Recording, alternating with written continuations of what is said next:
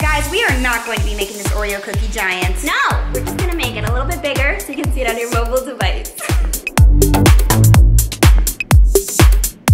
So I'm with Emma from Emma's Goodies, a channel that specializes in baked goods. I absolutely love Oreo cookies. I have a bunch of Oreo cookie recipes. So if you wanna see more stuff I make, you should um, just click Okay, so 200 grams of flour. Then we need cocoa powder, 50 grams. 100 grams of powdered sugar. This is just to mix the dry ingredients. Because using a spoon is so overrated. I know, right? You can blitz it to stir it, you can stir Yeah, it to stir you it, can- and you don't even need a spoon to stir it, you can use scissors.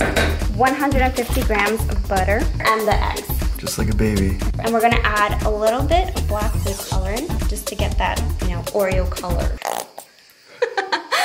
Sorry guys. All right, let's blend. Okay, that's perfect. And then you just bring it together.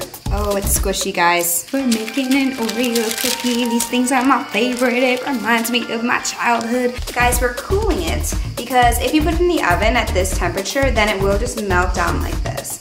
And that's not what we're trying to do. You've seen an Oreo, it's got a top and a bottom. They're basically doing the same thing again, so we can just zip through that. Well, I think what they can do is exactly what we did again, or double it up in a larger thing, that Yeah. into two cookies and just make the cookie not as big. Or not use one and just do it all by hand. So I think it's pretty basic. Oh, okay, so now I'm confused. Or they can use that same recipe, split that into two cookies and It's not an Oreo cookie without the Oreo pattern. I don't know how they're gonna do this. I know I'm not gonna do this, but I don't know how they're gonna do this because look at how intricate that is. Julia, how are you gonna do this? A little bit of hard work, good luck, strong effort, and talent. Just have to be really talented.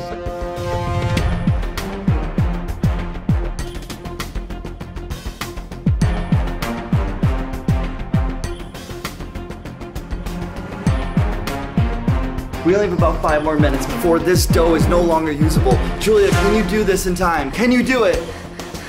Are you nervous? Honestly, I have a sharp object in my hand right now, and this is just not the right time for an interview. It's a hundred degrees in here. I need to jump into a pool. I'm freaking. helped at all. I- All you're doing is talking. I am helping. This is this is helping right here.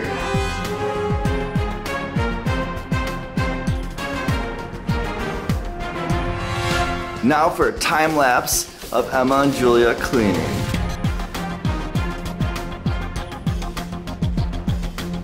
So right now, Julia's making these indentations using the back of a spatula. Marvelous. This one's going in very fragile, guys. Brace it from the bottom. You don't want it to crack. 30 seconds remaining.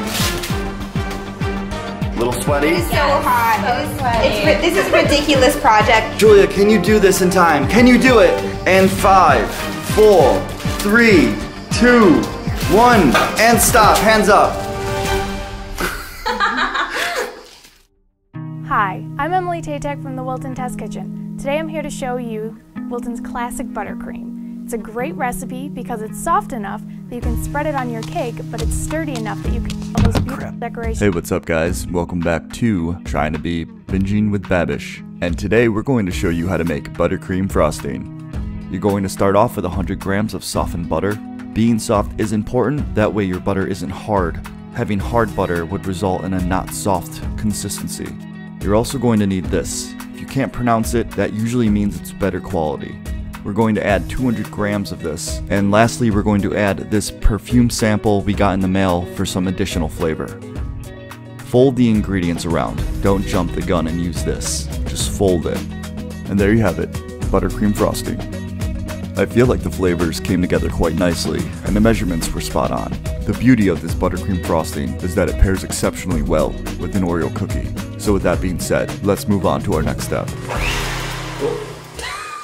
All right, it's finally done. We have to take it out of the oven. Yes. Yes. Gorgeous. Dude, after 14 hours, we're finally done. Our Oreo cookies are done, but they have to rest for 30 minutes before we play with them. One, two, three, go.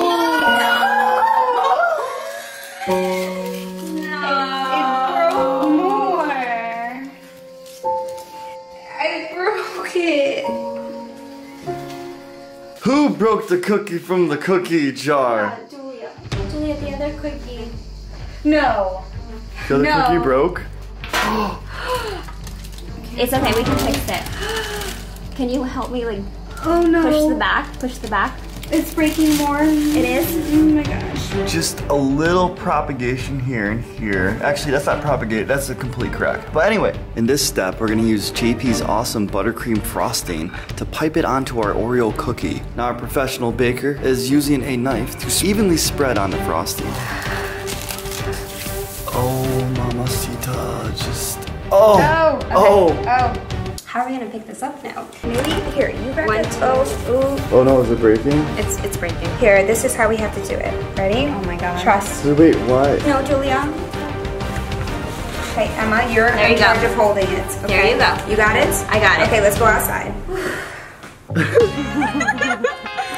Mm, this is better than any other Oreo recipe I've ever tasted. Thank you. Mm-hmm. It's delicious. The frosting though, give credit to JP. It's excellent. Tastes like an above average sized Oreo. Not a giant one, guys. You changed your shirt seven times in this video. No, no, only twice. Mm-hmm. Pizza, pizza. JP, are you eating the giant Oreo in bed? Why do you always do this? JP, this isn't even your house. You're gonna get cookie all over these sheets. There's no table. What?